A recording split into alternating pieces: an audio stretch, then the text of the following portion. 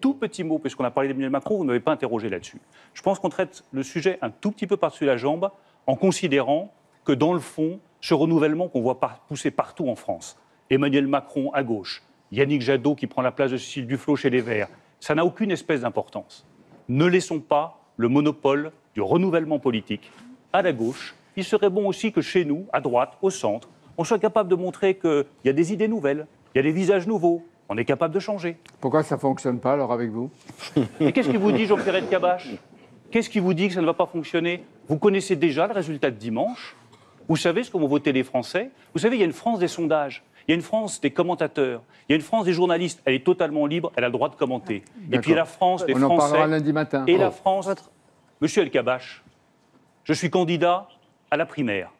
Ça mérite tout simplement le respect de votre part.